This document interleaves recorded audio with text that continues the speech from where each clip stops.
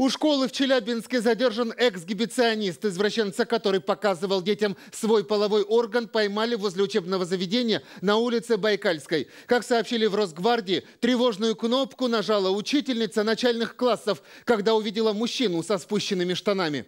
Незамедлительно прибывшим на место росгвардейцам обратилась преподаватель начальных классов. Она указала на гражданина, который стоял у ограждения школы. С ее слов, мужчина демонстрировал половые органы в присутствии учащихся.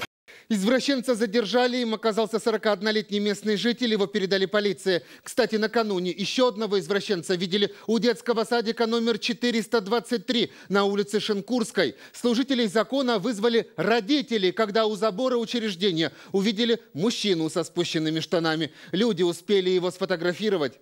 С утра отводила сына в детский сад и по пути остановила женщина и сказала, что возле забора у кустов стоит мужчина. У него были приспущены штаны и телефон в правой руке еще держал. На замечание женщины о том, что сейчас вызовем полицию, он ответил «вызывай» и продолжил там стоять. Люди вызвали полицию, но к приезду служителей закона он сбежал. Сейчас ведется его розыск.